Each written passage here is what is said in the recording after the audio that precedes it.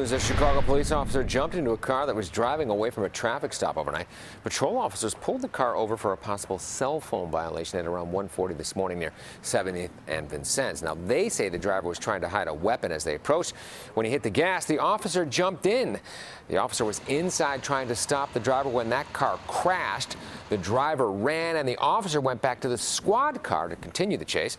That's when the squad car hit the median near 69th and Lafayette. Police eventually arrested the suspect and recovered a weapon. Two officers were taken to the hospital. They are in good condition this morning.